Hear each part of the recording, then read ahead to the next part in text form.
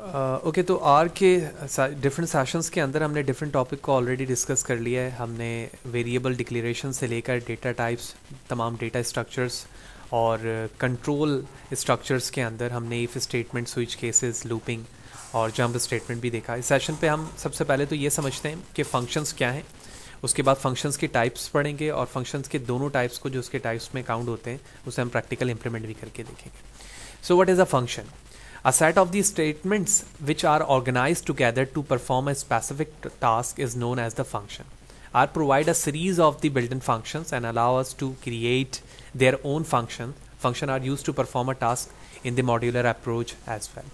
तो जो functions हैं हमारे वो एक स्पेसिफिक टास्क को परफॉर्म करने के लिए बनाए जाते हैं फॉर एग्जांपल अगर मैं वेब एप्लीकेशन मोबाइल एप्लीकेशंस की बात करूँ या स्टैटिस्टिकल किसी कॉन्सेप्ट की बात करूँ तो मैं चाह रहा हूँ कि जितने भी यूज़र्स या जितने भी स्टूडेंट्स मेरे प्रॉब्लम्स में मौजूद हैं उन तमाम स्टूडेंट्स के एज की एवरेज को काउंट करके एक जगह रखूँ ठीक है? इसी तरह से आ, उनकी जो पेरेंट्स की मंथली इनकम है आ, उन तमाम स्टूडेंट्स की एवरेज को एक जगह रखूँ या उनके सम को देख सकूँ। तो ये तमाम अलग अलग स्पेसिफिक वर्क है। उस टास्क को परफॉर्म करने के लिए आप जिस क्लास के बेस पर प्रोजेक्ट बना रहे होते हो, काम कर रहे होते हो, उसमें डिफरेंट मैथड्स या फ़ंक्शन बनाते हैं, ताकि वो आपका सेपरेट काम सेपरेट चंक में इनक्लोज रहे और इन फ्यूचर जब भी इन्हेंसमेंट की ज़रूरत हो, वो उसको यूज़ करते हुए वहाँ पर परफॉर्म किया जा सके। तो दो तरह के फ़ंक्शन हमें यहीं से समझ में आ रहे हैं कि एक वो है कि यूज़र के ज़रिए से जो क्रिएट करेगा यूज़र और एक वो है जो बिल्टन तौर पे मौजूद होते हैं किसी भी प्रोग्रामिंग लैंग्वेज में as like R as well तो function are use to avoid repeating the same task और to reduce complexity to understand and maintain our code we logically break into the smaller part using the function so the a function should be written to carry out a specific task यानी जिस मकसद के लिए लिखा जा रहा है, उसका, वो टास्क उसके ज़रिए से अचीव होगा। मे और मे नॉट हैव आर्गूमेंट यानी उसमें पैरामीटर्स हो भी सकते हैं और पैरामीटर नहीं भी हो सकते हैं। जबकि आर्गूमेंट उसे कहा जाता है जब पैरामीटर की वैल्यू पास की जा रही होती है। तो ये अक्सर इंटरव्यू में भी पूछा जाता है कि पैरामीटर और आर्गूमेंट में क्या फ़र्क है। तो जब आप फ़ंक्शन बनाकर इंटीजर ए या फिर अगर आर में बात करूँ तो मैं डायरेक्ट ए कॉमा बी लिख रहा हूँ दो पैरामीटर तो जब ए और बी की वैल्यू मैं डिफाइन करूँ लिखूँगा फ़ंक्शन में, यानी ट्वेल्व और ट्वेल्व फॉर एग्ज़ाम्पल तो ये हमारा आर्गूमेंट है। और जब मैंने ए कॉमा बी लिखा था तो ये मेरा पैरामीटर है। Contain a body in which our code is written उसका एक बॉडी होगा जिसके अंदर आप कोड लिखेंगे। मे और मे नॉट रिटर्न और मोर आउटपुट वैल्यूज़ यानी ऐसा भी हो सकता है कि आपका फ़ंक्शन कोई रिटर्न वैल्यूज़ करे या ना करे, या ये भी मुमकिन है कि मोर देन वन वैल्यू को आपका फ़ंक्शन रिटर्न कर रहा हो। अब नीचे जो है, यहाँ पर हमने एक सेंटेक्स शो किया हुआ है। इस सेंटेक्स में आप देख रहे हो कि फ़ंक्शन जो आपका नाम रखना चाह रहे हो फ़ंक्शन का एज लाइक अ वेरिएबल वो है। उसके बाद फ़ंक्शन कीवर्ड के साथ उसमें कुछ ऑर्गमेंट्स मौजूद हैं पैरामीटर्स मौजूद हैं, और उसके बाद उसके फ़ंक्शन की बॉडी है, जो मकसद, जिस मकसद के लिए आप फ़ंक्शन बनाना चाह रहे हो, वो वहाँ पर आप लिखोगे। तो अभी हम इम्प्लीमेंट करेंगे, लेकिन साथ ही साथ हम टाइप्स भी देख लेते हैं। तो हमारे पास दो टाइप्स हैं बिल्टन टाइप और इसी तरह यूज़र डिफाइन यूज़र डिफाइन वो है जो यूज़र खुद क्रिएट करेगा, और बिल्टन वो है जो आपको आर uh, प्रोवाइड कर रहा होता है। तो इन बिल्टन फ़ंक्शन में हमारे पास डिफरेंट मैथ्स के फ़ंक्शन हो सकते हैं करेक्टर फ़ंक्शंस हो सकते हैं स्टैटिस्टिकल फ़ंक्शंस हो सकते हैं अदर स्टैटिस्टिकल फ़ंक्शंस हो सकते हैं। तो ये तमाम फ़ंक्शन जैसे जैसे हम आगे जाते रहेंगे इनको मल्टीपल टाइम यूज़ करेंगे आइदर इन स्टैटिस्टिकल कॉन्सेप्ट में या मशीन लर्निंग के कॉन्सेप्ट में या डीप लर्निंग के फॉर्म में वो तमाम फ़ंक्शंस वहाँ पर इस्तेमाल होते रहेंगे। तो कुछ एग्जाम्पल्स में ज़रूर हम इम्प्लीमेंट करेंगे। तो अब मैं आर स्टूडियो में चलता हूँ और सबसे पहले तमाम चीज़ें क्लीन करने के बाद हम देखते हैं कि सिंपल फ़ंक्शन बनाया किस तरह से जा सकता है। तो मैंने लिखा माई फ़ंक्शन वन ये हमारा एज लाइक अ वेरिएबल है जो फ़ंक्शंस को सेव रखेगा।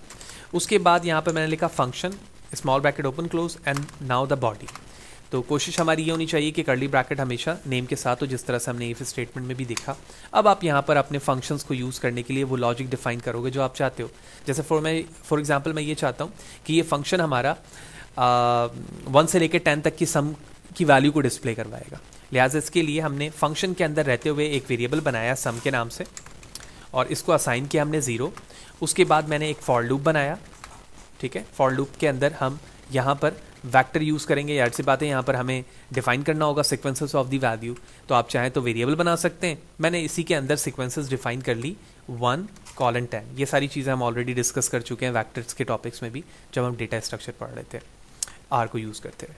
अब फॉर लूप के अंदर मुझे सम तमाम वैल्यूज़ का सम मालूम करना है। तो मैंने कहा sum equal to sum plus i और उसके बाद हम इस बॉडी से बाहर आ जाएँगे, यानी लूप की बॉडी से, और यहाँ पर आने के बाद मैंने सम को डिस्प्ले करवा दिया दैट्स इट तो ओवरऑल लॉजिक क्या हो रही है? कि जैसे ही मैं अपने माई फ़ंक्शन को कॉल करूँगा तो ये वन से टेन तक की वैल्यू को मुझे डिस्प्ले करके दे देगा। मैं लूप में इसलिए नहीं रखता सम की वैल्यू को डिस्प्ले नहीं करवा रहा हूँ, वरना वो बार बार वैल्यू को डिस्प्ले करता रहेगा। तो सम में वेरिएबल तमाम वैल्यूज़ का एडिशन एक दफ़ा आ जाएगा, उसके बाद वो एग्जीक्यूट होगा। तो फ़ंक्शन बनाने का तरीका, इसमें कोई भी वैल्यू रिटर्न नहीं हो रही, और कोई भी पैरामीटर यूज़ नहीं हो रहा है। लिहाजा अब मैं फ़ंक्शन को परफॉर्म करना चाहता हूँ, यानी एग्जीक्यूट तो आप अपने फ़ंक्शन का नाम लिखोगे विच मीन नेम और उसके साथ स्मॉल ब्रैकेट आप बनाएँगे, जो कि फ़ंक्शन को रिप्रेजेंट करता है। उसके बाद मैंने पहले तो अपने इस कोड को एग्जीक्यूट किया कंट्रोल एंटर के साथ, और उसके बाद ये एग्जीक्यूट हो चुका है। अब मैं अपने फ़ंक्शन को एग्जीक्यूट कर रहा हूँ। कंट्रोल एंटर ओके तो sequences closures is not subsettable ठीक है। ओके okay, तो जहाँ पर हमने सिक्वेंसेस डिफ़ाइन किया है यहाँ पर मैंने एरे ब्रैकेट बनाया है मुझे यहाँ पर स्मॉल ब्रैकेट बनाने की ज़रूरत है। और उसके बाद मैंने इसको एग्जीक्यूट करना है by closing the condition body of the loop और एग्जीक्यूट किया and here it is you can easily observe that the sum of the all values is now 55 तो ये पहला तरीका था हमारे फ़ंक्शन बनाने का और उसे एग्जीक्यूट करने का। अब बात ये होती है कि क्या फ़ंक्शन में रिटर्न टाइप्स होते हैं? जी हाँ वैल्यू आप रिटर्न भी करवा सकते हो जिस डेटा टाइप्स की आप वैल्यू चाहते हो। लिहाजा इसके लिए मैं एक और फ़ंक्शन बनाता हूँ। तो अब मैंने अपने फ़ंक्शन का नाम रखा function two variable which mean उसके बाद फ़ंक्शन कीवर्ड के ज़रिए से हमने यहाँ पर लिखा बॉडी hmm, बनाई मैंने उसके बाद हम यहाँ पर डायरेक्टली लिखते हैं रिटर्न और उसके बाद जो वेरिएबल्स आप रिटर्न करवाना चाहते हो वैल्यूज़ के फॉर्म पे यहाँ लिखोगे। तो सबसे पहले तो हम सिंगल इंडिविजुअल वैल्यू रिटर्न करवाना चाहते हैं तो मैंने फ़ंक्शन में आके लिखा a is equal to something value like this twelve और उसके बाद उसको मैं रिटर्न करवा रहा हूँ। तो रिटर्न करवाने के लिए डायरेक्टली मैं उसे कॉल करके डिस्प्ले करवा सकता हूँ। तो मैंने अपने फ़ंक्शन के नाम को यहाँ पर कॉल किया, और कॉल करने के बाद इस तरह से उसको रिप्रेजेंट किया, क्योंकि ये फ़ंक्शन है, और उसके बाद इस पूरे होल कोड को कंट्रोल एंटर के साथ मैंने एग्जीक्यूट कर दिया। और आप देख रहे हैं कि जो ट्वेल्थ वैल्यू थी वो रिटर्न होकर यहाँ पर डिस्प्ले हो गई है। जिस तरह से मैंने रिटर्न एक वैल्यू करवाई है, मैं मल्टीपल वैल्यू भी करवा सकता हूँ। मल्टीपल वैल्यू बनाने के लिए मैं चाहूँ तो वैक्टर बना सकता हूँ या लिस्ट बना सकता हूँ। तो सबसे पहले तो हम एक वैक्टर वैल्यू बनाते हैं। तो वैक्टर के लिए मैंने सी लिखा, मल्टीपल वैल्यूज़ इसमें लिखी, ठीक है? उसके बाद मैंने अपने फ़ंक्शन को एग्जीक्यूट किया। फिर मैं फ़ंक्शन को कॉल कर रहा हूँ and here it you can see that के मल्टीपल वैल्यूज़ एक साथ लिस्ट के फॉर्म पे या वेक्टर के फॉर्म पे भी यहाँ पर रिटर्न हो सकती है। अब तीसरी चीज़ जो फ़ंक्शन में आती है यूज़र डिफाइन पे, वो है ऑर्गोमेंट का इस्तेमाल या पैरामीटर का इस्तेमाल। इसके लिए मैं एक और फ़ंक्शन बनाता हूँ माई फ़ंक्शन थ्री और यहाँ पर हम फ़ंक्शन कीवर्ड लिखेंगे। अब मैंने यहाँ लिखा ए कॉमा बी और उसके बाद बॉडी चाहूँ तो मैं इन दोनों को रिटर्न करवा लूँ ठीक है? और रिटर्न करवाना ही मकसूद होता है कि पैरामीटर्स या आर्गूमेंट वो वेरिएबल्स होते हैं जो फ़ंक्शन के आ, अंदर इस्तेमाल होते हैं किसी स्पेसिफिक पर्पज़ के लिए। मैं चाहता हूँ जो भी वैल्यू हमें फ़ंक्शन कॉल करते वक्त यूज़र देगा मैं उसका सम उसे डिस्प्ले करवा के दे दूँगा। लिहाजा इसके लिए मैंने यहाँ पर लिखा रिटर्न और इस ब्रैकेट के अंदर मैंने लिख दिया a plus b that's it उसके बाद मैं फ़ंक्शन से बाहर आता हूँ अपने फ़ंक्शन को एग्जीक्यूट करने के लिए यहाँ पे कॉल करूँगा। लेट्स सी अब प्रॉब्लम यहाँ पर ये है कि ज़ाहिर सी बात है, जब तक मैं आर्गूमेंट बताऊँगा नहीं तो ये वैल्यू सम किस तरह से होंगी? तो मुझे दो वैल्यूज़ यहाँ पर बताने की ज़रूरत है। तो मैंने यहाँ पर लिख दिया twelve and twelve which will be twenty four so let's see मैंने इसको एग्जीक्यूट किया। And here it is you can see that the sum of the values is now twenty four तो इस तरह से हमने प्रैक्टिकली यहाँ देखा कि यूज़र डिफाइंड फ़ंक्शंस क्या हैं। किस तरह से हम उसे एक सिंपलेस्ट वे में बाय यूजिंग लूप इस्तेमाल कर सकते हैं without return type and parameter फिर हमने रिटर्न टाइप्स देखा कि रिटर्न टाइप्स एक या एक से ज़्यादा वैल्यूज़ कैसे आ सकती हैं। फिर हमने ये देखा कि हम पैरामीटर्स को किस तरह से इस्तेमाल करते हुए उसे डिस्प्ले करवा सकते हैं। अब हमारी बात ये होती है कि यूज़र डिफाइन तो देख लिया, हम बिल्टन्स क्या हैं? तो बिल्टन्स बहुत सारे फ़ंक्शंस हैं, जैसे जैसे हम आगे जाते रहेंगे, उनको इस्तेमाल करेंगे। लेकिन बिल्टन से मुराद ये है कि वो फ़ंक्शंस जो आपको कोई भी प्रोग्रामिंग लैंग्वेज प्रोवाइड करती है by using its own name आप उसे कॉल करके डिस्प्ले करवा सकते हैं। तो सबसे ज़्यादा जो फ्रिक्वेंटली हम मैथड इस्तेमाल करते हैं फ़ंक्शंस बिल्टन वो एक प्रिंट एफ़ या प्रिंट है। तो प्रिंट के ज़रिए से आप किसी भी आउटपुट स्टेटमेंट को डिस्प्ले करवाते हो तो मैंने यहाँ पर लिख दिया है फ़ायद हुसैन, ठीक है? तो ये क्या कर रहा है? ये एक बिल्टन मैथड है जिसके ज़रिए से चीज़ें डिस्प्ले हो रही हैं। इसी तरह से हमारे पास एक कैट का मैथड या फ़ंक्शन होता है। कैट नॉर्मली चीज़ों को डिस्प्ले करने के साथ कॉन्केटिनेट करने के लिए भी इस्तेमाल होता है। यानी मैं कोई स्ट्रिंग भी डिस्प्ले करवाऊँ उसके साथ वेरिएबल भी इंक्लोज करूँ। इसी तरह से स्टैटिस्टिकल मैथड्स हैं हमारे पास। मीन ठीक है? मीन क्या करता है कि डिफरेंट वैल्यूज़ के कलेक्शंस का आपको मीन निकाल के दे देगा। यानी सेंट्रल टेंडेंसीज जो स्टैटिस्टिकल कॉन्सेप्ट में होती हैं। तो मैंने कुछ वैल्यूज़ लिखा यहाँ पर और उसके बाद उनके मीन्स निकालना चाह रहा हूँ। इसी तरह से स्टैटिस्टिकल में आप चाहें तो मॉड निकाल सकते हैं मीडियन निकाल सकते हैं ये कुछ स्टैटिस्टिकल मैथड हैं।